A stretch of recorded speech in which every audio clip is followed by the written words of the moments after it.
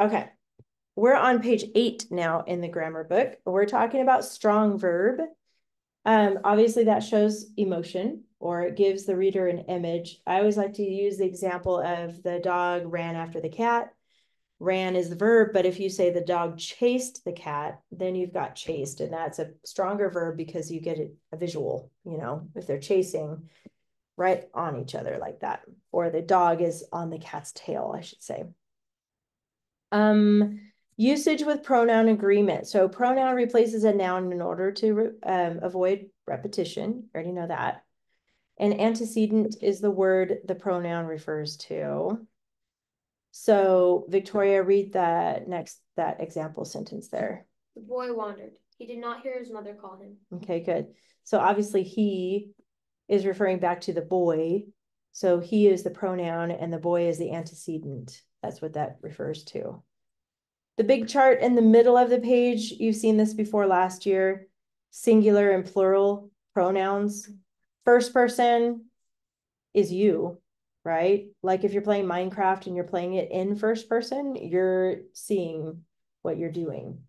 If you, you're playing in second person, you can see the head of the guy, right, in front of you.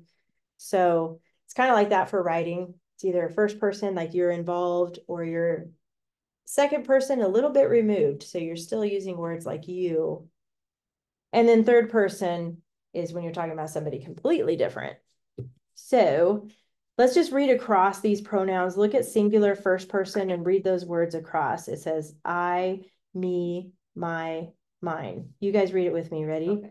I, me, my, mine. And then second person, you, you, your, yours. And then third person, he, she, it, him, her, it, his, her, its, his, hers, its. So at the top, you'll see the categories subjective, objective, and possessive. Um, and those are different types of pronouns that you use in, in the sentence, depending on the sentence. Um, if you're the object of the sentence, it's objective. So we'll go through those a little bit more as we go, but um, plural, let's read those. For first person plural, it says we, us, our, ours. Second person, you, you, your, yours. And third person, they, them, their, theirs. So the boy wandered. He did not hear his mother call him. The boy refers to one boy, that's singular. And therefore, the only pronouns in singular row to replace the word boy, it's going to be he.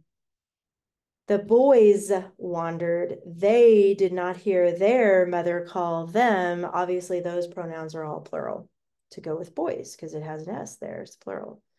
So to fix it, you're just going to draw a line through the mistake and write the correct pronoun above it, just like in that example at the bottom of the page. Okay, let's keep going. Page nine. Uh, this is the practice page. So, ready feel like reading it today? I will. Okay, thank you. The desperate villagers feared the beasts. He would send he would send elephants and men with guns and torches into the jungle to help them. Good. The vocabulary is desperate. How would you explain what desperate is? What is something you would be desperate for? If you've been out hiking in the desert all day, it's hot, it's dry, what would you be desperate for? Water. Water. Yeah. A helicopter maybe to come and pick you up. Well, having little or no hope is really what the definition of desperate is. Um, so if you're dying and you need water, that's pretty desperate. So put a check mark by vocabulary at the top, and then we're going to talk about the articles. What are those again? And A and the or the, yes. So there's three of them. Go ahead and find those and label those. We're on page nine. And then seven nouns. Audrey? You want to do seven nouns? Um, villagers. Yes, Beasts. yes, Elephants. yes, Men. yes, Guns. yes, Torches. yes, Jungle. yes. Good. Pronouns, Oliver. Um, he, right after beasts, and then. Uh, them Yes, after kill. Yes, very good. Although he is not the correct pronoun. If it says the desperate villagers feared the beasts, it's referring back to the villagers, which is plural. Yeah. So what should the pronoun be there? They, They. So just draw a line through he and write they above it. And then you can put PR for pronoun. And then the prepositional phrases, Victoria. Um. Uh, remember with those? guns and torches. Good, that's one. To kill them. That's a good one, but that's not it. To kill is gonna be one of those infinitives. You remember those from last year? So not that one. Into the. There you go, into the jungle. Whenever you see like kill is a verb, but whenever you have to in front of it, it becomes an infinitive, but it's not a preposition, even though it looks like it could be. No verb in the prepositional phrases. So Audrey, what about the main clauses? There's two of them. Uh, From the to be. Yes, And then he to them, yes, and usually it is the whole sentence. but sometimes. it's- Sometimes it's not, sometimes it's not. So you can put brackets around the two sentences, subject verb pairs. So what about the verbs, Oliver? We'll start with those. then, we kill, Kill is not a verb because it's an infinitive, infinitive because it has the word to in front of it. So Um, don't count that one. feared, Feared is a verb, yes. then, Yes.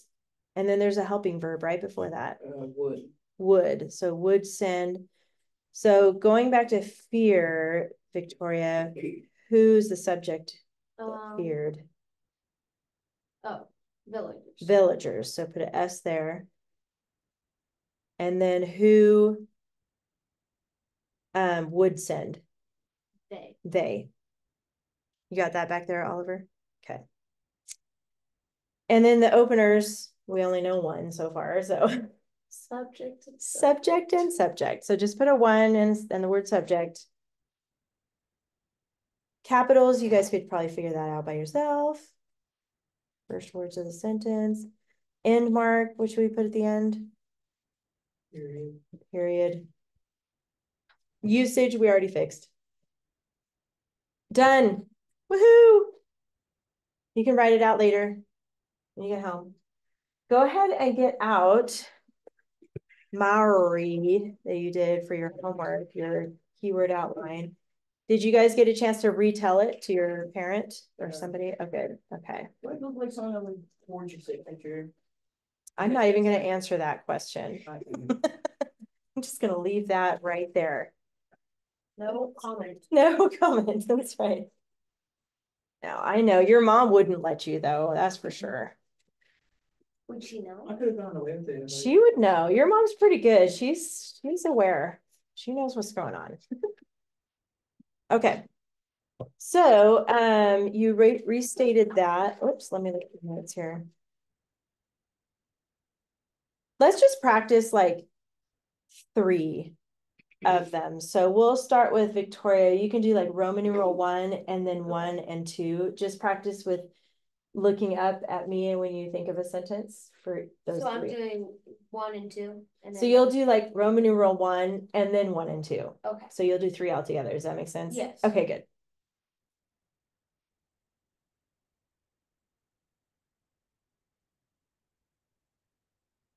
Maori were indigenous people to New Zealand. Okay, good.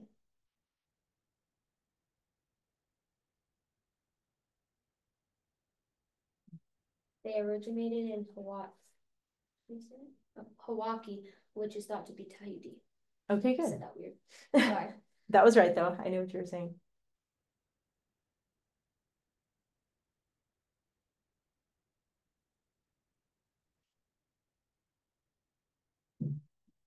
In the eighteen hundreds, the British and Maori got in a conflict about the Maori land. Good. Nice job.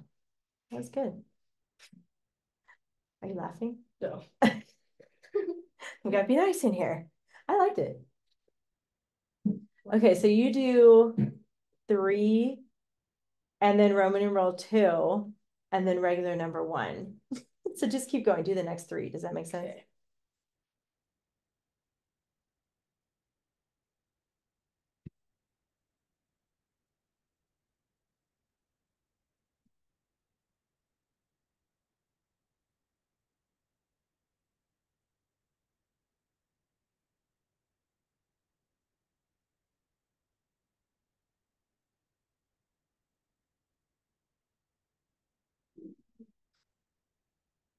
Is it a hard one? Well, I wrote, I'm just trying to remember. Do I knew this one. Do you need to look back?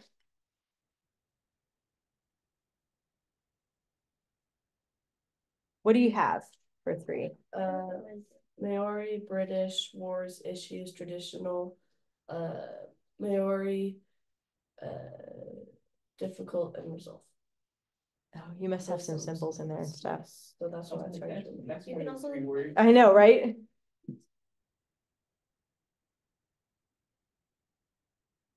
That was a hard one though, to be fair. That was. That was hard. My let's- sentence of that was probably gonna be like very short. Let me look really quick what that sentence was.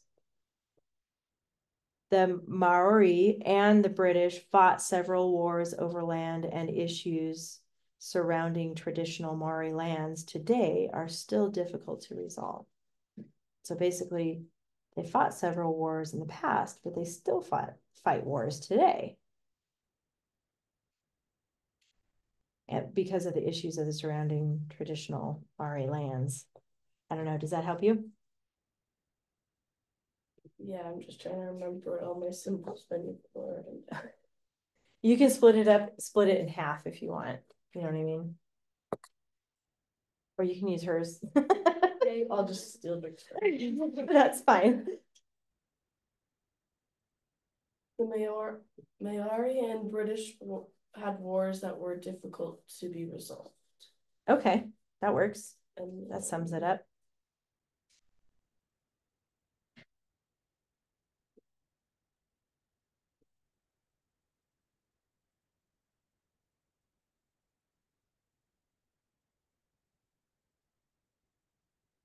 The Mao, the Maori culture has elements to it that are diff, uh, that are not common for other people groups. Okay.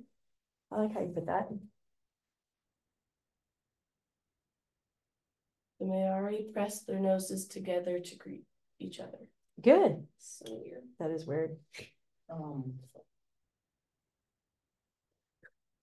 Um. Like a little too personal, all right? Maori build carved houses for events and ceremonies. Okay, The Maori have something called the haka, which is a dance symbolizing pride, strength, and unity. good.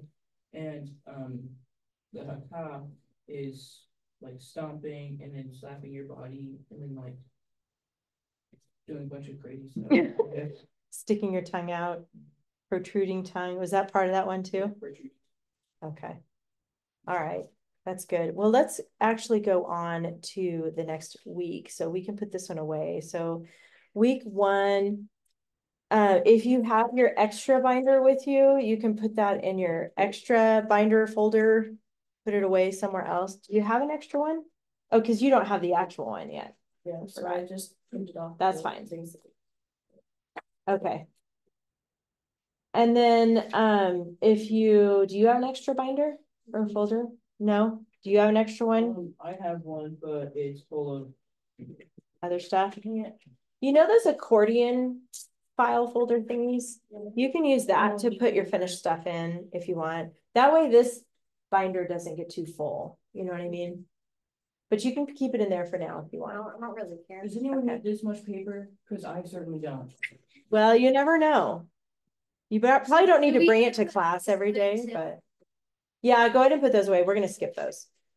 We're moving on to week two, which is Frederick Douglass or Harriet Tubman. But we're gonna read about Frederick Douglass, so I didn't make copies for you, so you'll have to just kind of look off of hers, but. So week two. I guess it say week four. This is week two. Weird. The yellow um page goes. What's the yellow page anyway? Oh, There's a couple do- yellow ones. Is that from week one? Yeah. That's from week two, okay. Yeah, they're both of them do. One is the dress ups and stuff like that. Yes. This one is the note making. Okay. We'll start on the yellow page because we're only gonna add one dress up. It's kind of nice we have one. Actually, just a few paragraphs, but we only have one dress up word. I take that back too. Sorry, just kidding. It's still only two, it's not like ten. On your yellow page. With the dress ups, We, we're gonna have another editor. this one. Yeah, you guys know about that, so I'm not even gonna cover that, but yeah, that's your mom or your dad or whoever. Yeah, take that one out too. And that one. We rarely even talk about these, cause you guys already know these, but when we put this away, it'll go behind model charts and outlines, cause this is like. A model of an outline. For your dress up page though, this one is the one I wanna talk about next. This is page twenty-three. We're looking at this page right now, twenty-three. This is from week two, so when you get out week two, it's called uh Frederick Douglass and or Harriet Tubman. And you're gonna get out page twenty-three, and we're gonna add for number one, you guys guessed it, I'm sure. LY adverb. I do a little dash, LY adverb. And then number two is who, which. Clause, we're just gonna dive right into it. When do you use a who clause? Remember back when those days? I see, I see what you're doing back there. Well, when do you use a who or a which? How do you know the difference? When you use one of those clause? Just talking about clauses. Person. There you go. Yes, there you go. So who is talking about, see, you were saved by your friend up here. So who is talking about a person or maybe even an animal that's acting like a person, a character? And then you would use which if you're talking about a thing, right? A place, which is across on the other side of the world, or which is over down the street or something like that. So you're gonna start adding one ly word and one who which clause to your writing. And when you add those, you only have to underline the who or the which. You guys remember that? Whoa. Sometimes there's crazy trucks that go down there. Yes, I think it's uh, garbage. Oh, maybe. or the semi. You can use whom or whose also. For the who which clause. You Can use whom if you like to sound like you're all fancy like that. Or whose. All right. Next, we are going to look at Frederick Douglass. So go, go ahead and get that one out. And I'll just give you my copy so you can have it to read.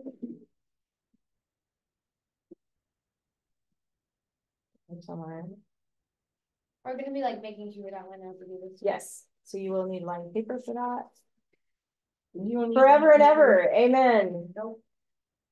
Does anyone need any white paper? I have- I I- don't- get rid of it. He's still trying to get, I don't know is. Please. With a surgeon, Where did I go? that's completely free of ten pieces of paper, also only cat and a proper. There it is. Wow, it's gonna cloud outside. So you don't have to bring that whole stack every week. You could keep it at home and then just bring a smaller stack with you. But you will need lined paper and we probably will get through all that. For the year.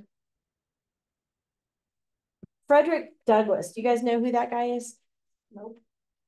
Nope. Let me. Two S's. He was a black man. Let me pull up a picture of him. he was a him. Lady born in Maryland in eighteen eighteen. Oh, He was separated from his mother at a very early age. oh, you're not reading, of course not.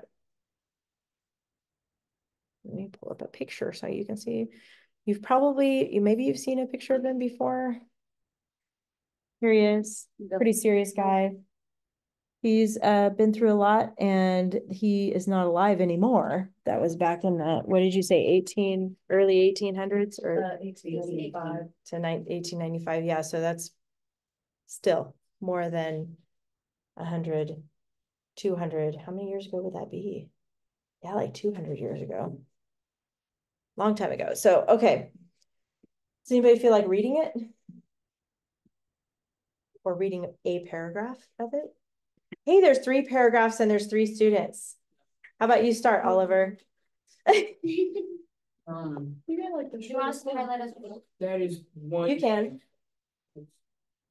Augustus, yeah, that is a serious name, you're right about that. Frederick Augustus Washington Bailey. Um, was born a slave in Maryland in eighteen eighteen. I'm gonna stop you right there for a second. Notice his last name is not Douglass. But the article is called Frederick Douglass. Okay, keep going. The- We'll find out why. He was separated from his mother at a very early age. When he was twelve, the wife of a slave, slave owner, began teaching him how to read, but her husband stopped her. He feared that slaves who learned to read would want to escape. However, Frederick did not give up. He taught himself to read by observing other children, and in turn, he taught other slaves to read. He also memorized much of the Columbian Orator, a collection of poems and speeches. The book informed his views on human rights and fueled his resolve to be free. Good, so interesting, huh? He didn't go to school, but he, his slave owner's wife, she must have had compassion on him and taught him. But he was concerned about that because once he learned how to read, he, he would realize that he's a slave. Because you know, when young people, you can, they're pretty impressionable. So you can convince them this is normal, you know, especially if they don't know how to read, they don't know how to read history. They'll be fine with it. Are you okay back there? Yeah, it's just a really nice chair, so. Yeah, you're not gonna be in that chair though. You're, you're gonna stay in that cold, hard chair that you're Metal. sitting in right there. It looked like you were talking to somebody in there, so you're scaring me a little bit, but anyway. Uh, but then he learned enough to know that he wanted to know more, and that's why he just learned from other, other kids, other students, other people. That Columbian Orator is a collection of famous poems and speeches. And they probably were political because a lot of times in those days, they just wrote about what was going on in the world. And so once he started realizing, it's kind of like now, you guys are probably discovering, especially with the presidential stuff. I mean, Oliver was saying just when he came in about Trump having another assassination attempt, the second one. Yeah. It wasn't as dangerous. They weren't as close. Yeah. But he was playing golf and Yeah. there was So a shooter. There was a GoPro. Yeah. the, uh, um, they lost or something, like they can't find the GoPro, so. Hmm, That's that's weird. Makes you wonder what that's about. futures, um. so- The hard part about now, though, you guys probably already know this, is finding the truth is really, really hard to do now. Back then, they had books, really. They didn't have any digital anything. So it was just people's diaries and things that they recorded on paper. But it's even harder now to find the truth. Okay, anyway, enough about that. Let's go to the mm. second paragraph. So Audrey, you can read the second paragraph. At the age of twenty, Frederick disguised himself as a sailor and escaped to New York. He changed his last name to Douglass. In Massachusetts, he began to speak at meetings about his rough experience as a, as a slave. His friends feared that he would be recaptured by a slave owner, so from 1845 to 1847, he lived in Ireland and Great Britain. In a letter to a friend, he wrote, I breathe and lo, the chattel becomes a man. I employ a cab. I am seated beside white people. I enter the same door, I dine at the same table, and no one is offended. That's good. So he was writing like a poem because he was familiar with those, and that is the style back then. But he was writing about his personal experience, and so other people across the world would read that and say, "What? He sat with white people?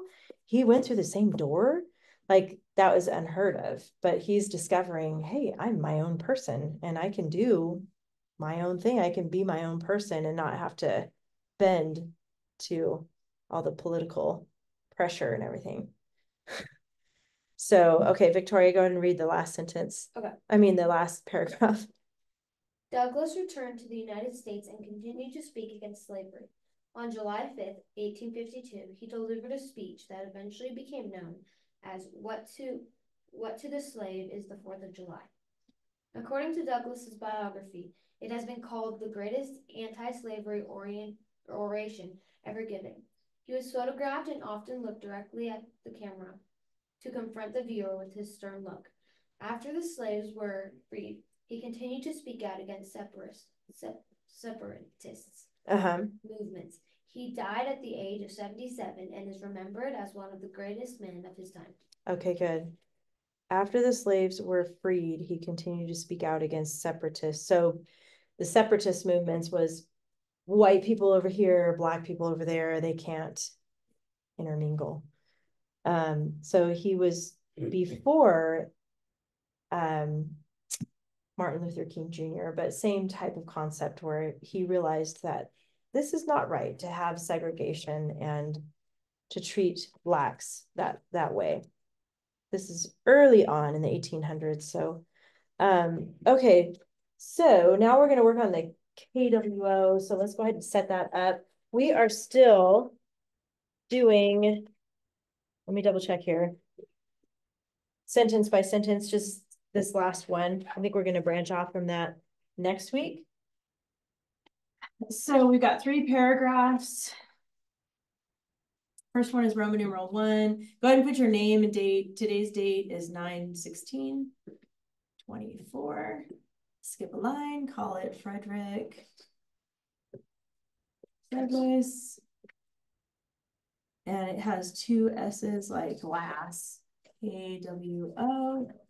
And then we're gonna start with Roman numeral one. Roman numeral one has one through seven. Are they breaking? They're like, it's the part where like the lead is getting like really thin, so it's like. Yeah. Lead and it's like the actual wood of the pencil, so it's. If it breaks, I do have a sharpener back there, um, under the microwave. I brought that from home. Roman numeral two. That one has one through six. Roman numeral three. That one has one through five. And I'm out of room here.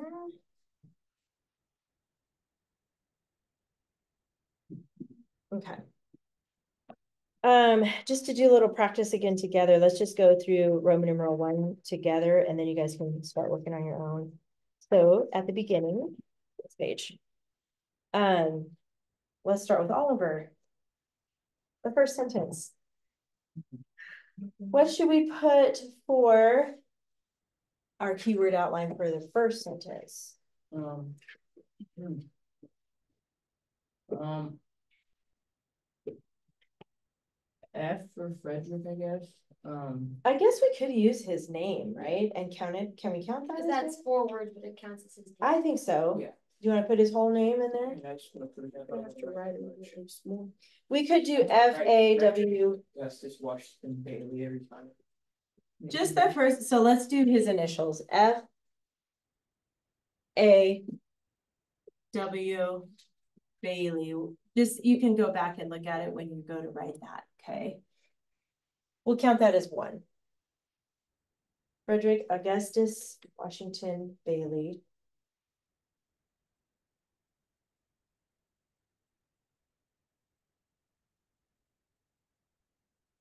And then what?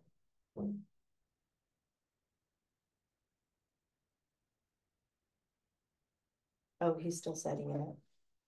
My bad. Um, That's all right. uh, slave, Maryland, I guess, Okay, born, should we do that? yeah. Born slave, oh, well, we already have a word. Slave Maryland, I like that. We could put the year. Yeah. I'm wondering about putting B eighteen eighteen. Slave. Maryland, or you could abbreviate Maryland. I think, what is the abbreviation for Maryland? Is it M? M A. I think M, it's, M, M N? I think it's. I don't remember. I don't remember either. Uh, no, M A is Massachusetts. Oh, yeah. How do you abbreviate Maryland, The answer I found is MD.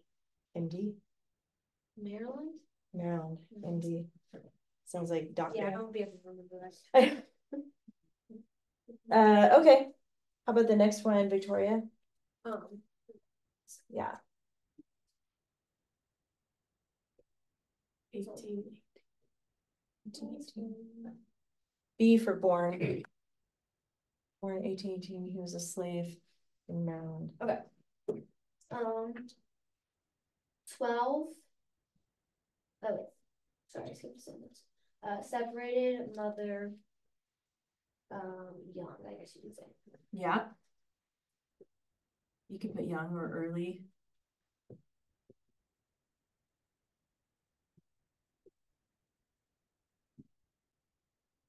And that's okay that young is not actually on that sentence, but it, it's implied, so that's fine. And then Audrey, Uh, twelve. Uh, hmm, there's a lot in that. there's a lot in that sentence. We don't have to count twelve. Uh. mm.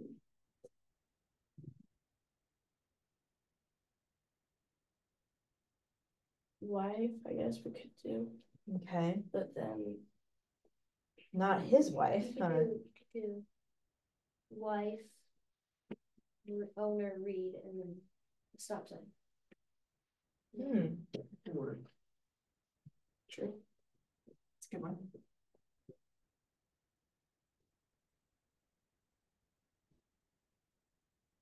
Or if you put read before owner, then it'd be like the owner statement. I like it next to owner, wife and owner, that way we know it's not his wife at age twelve, cause that would be kind of weird. Right, it's not Frederick's wife. But the wife of the owner. Read and then a stop sign. Just put S. We could put like a H, like the husband. Stopped.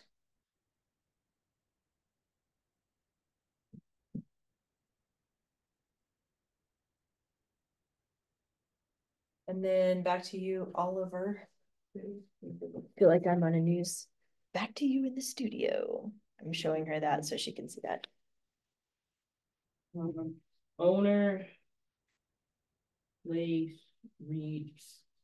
Um, Wait, wait. He feared that slaves who learned to read would want to escape. That's the one we're on. yeah. Oh, owner, I see, because you're referring to he. Yeah. Uh, we could do owner. Scared face. Um. Read. Escape. Yes. Yeah. I guess because you just said that the husband stopped and we could assume that that's gonna connect to that. We could just put feared. We could do like H owner. Maybe, Oh, for husband, yeah, okay. H owner and then a scared face. yeah, That might seem like you're saying the husband's owner, though. Oh, but you, you don't have to write that, you can just remember it's him. Yeah. Okay. Feared. How do you do a scared face like that how do you do scared? Owner, and then feared, and then, I think I'm gonna do reading equals escape. oh yeah, I like that. Reading equals escape. That's what he feared. Good.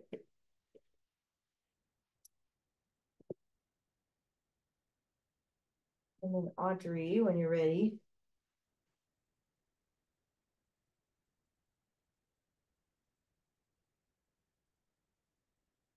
Oh, that's an easy one. uh, Frederick. Uh. Uh, we could do like a, for not, we could do circle with a line and then give up, I guess. Yeah. Or we could do give up and circle it with a line. Yeah, we could do that also. Man, I don't hear that very often. I heard the an ambulance, I heard There's an of ambulance earlier. Really? Did you hear the, uh, like, I live right next to the fire station, I heard them like blare their alarms at like midnight. so- Last night? Yeah, last night. Was there a fire? I I mean, don't know, I didn't, I didn't check my window, I was like. Happening. I can't tell if that's like, it sounds like they're coming on your street, but. I can't tell if it's No, fire I or, think it- or if it's like ambulance. I don't know, maybe it's going away. Okay, It sounds like police. That does sound like. yeah, it does after that. Yeah, see, this is what I think about whenever I see police cars, I'm like, who are they looking? Like helicopters fly over our house, I'm like, Okay, are they looking for? Sorry, I'm distracted. before you guys think, it's not me that they're searching for.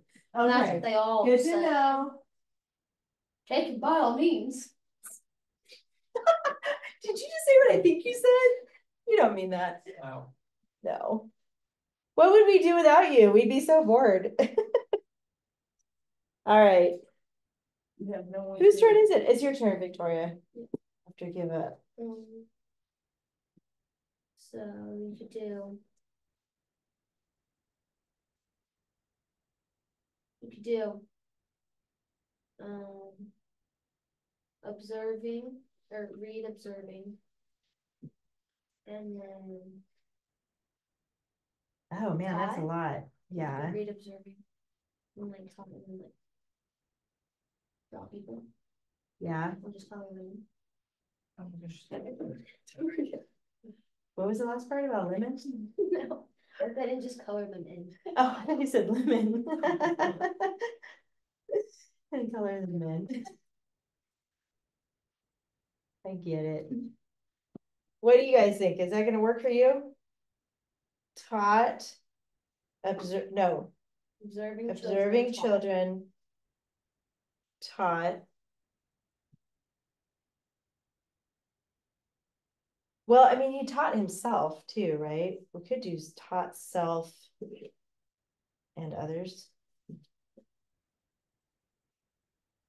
Whatever makes sense to you. I'm gonna go with this one. I'm gonna put taught. Self. Plus others.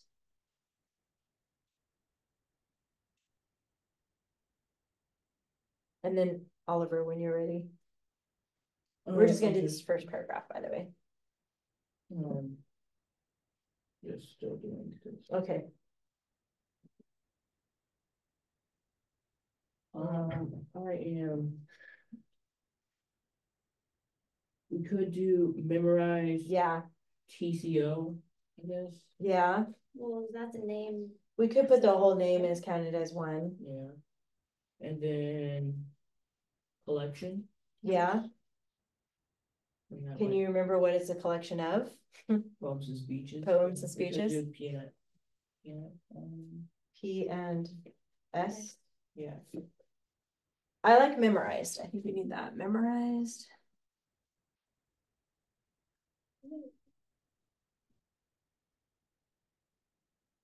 Columbian, the Columbian orator. Columbian Orator.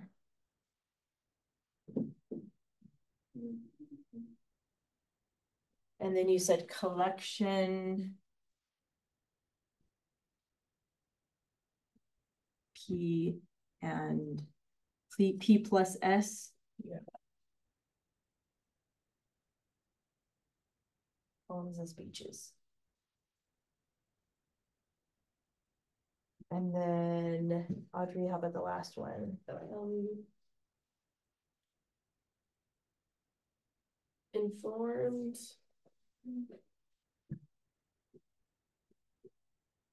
Abused.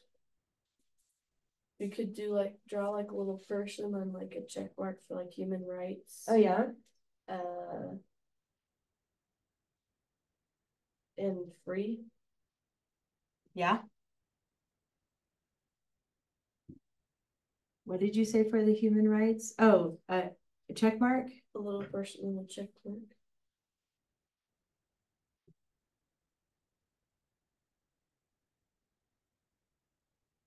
And you guys put whatever makes sense to you too.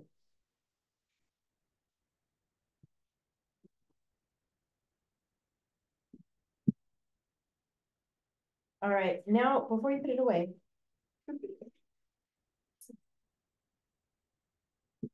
Um. Let's think of some ly adverbs we can use in here. When we're talking about Frederick Douglass and thinking about some of the verbs that we have. Uh, words like read, separated. Well, let's talk about separated. Let's start there. What's a good ly word we could use? About that, something, he was somethingly separated from his mother at a young age, Sadly. sadly, Quickly, quickly. So on the side here, on your outline somewhere. If you like that word sadly, put that, or you can put quickly, or tragically would be a good one too, tragically. That way you can think ahead on where you want to plug in your ly adverb for that paragraph. So any of those would work. Um, how about a who which clause? Looking at these that you wrote down in your outline, um, where could we put one of those in? I think, uh, number three, Okay, husband owner, who thought, um. That reading would equal escape, stopped Frederick from learning. Say that again with, with a who clause? Yeah, Okay, so the owner, um, who thought that reading, um, means escape, stopped Frederick from learning. Okay, you could put a who there. So write it in the margin if you like that spot for your who clause, the owner who. Um, was afraid or who's, who was afraid of. Frederick learning how to read, Frederick reading. Um. Or here's a good one too. He memorized the Columbian Orator, which is a collection. That would be a good spot for a which clause. So sometimes this is a, a good skill to do to think ahead, because sometimes when you sit down to write, it's like, ah, where am I gonna put that who which clause? But if you have a little note, you'll be like, oh yeah, I remember, I was gonna put it in there. And remember, when you write these paragraphs, you're gonna finish these at home. So you're gonna finish two and three. And each paragraph is gonna have a who or a which and an ly adverb, and you only need to underline one. of Your each. earring fell out. Say that again. Your earring fell out. Oh. Like just now? Is it in my shirt? Yep. Yep. I kept feeling them fall out. They're not wanting to stay. Thank you for telling me. I would have been mad. the other side. A magnet. I'm gonna try to squeeze it a little tighter, maybe. Um. What am I saying? It was Ainsley. Do you know who Ainsley is? She gave them to me Oh, today? last weekend or last week in class. And then she wasn't here today. Anyway, thank you. Um. Any questions? We're actually early. You guys can start working on, let's work on the second paragraph, then you have less to do at home.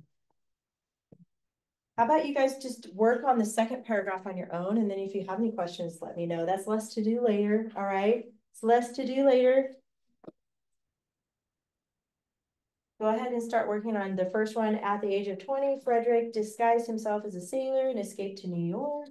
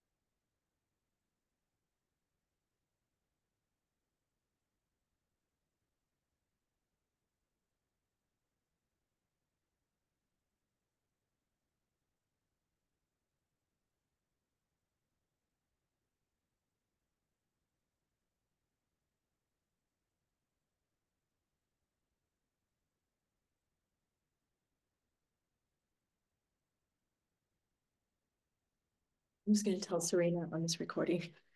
They're working independently on Roman numeral two and three. Until it's time to go. So I'm gonna turn off the recording. Your homework is gonna be to finish the outline and write the three paragraphs. This is year two, so we're upping up, upping it.